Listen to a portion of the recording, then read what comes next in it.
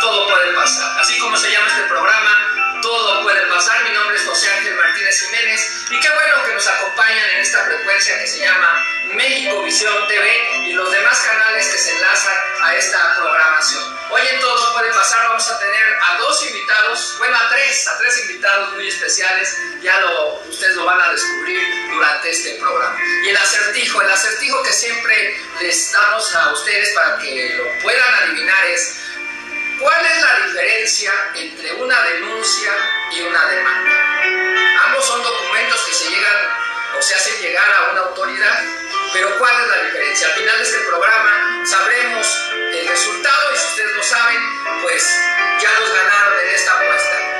Denuncia y demanda, ¿cuál es la diferencia? Pues vamos a, a pasar a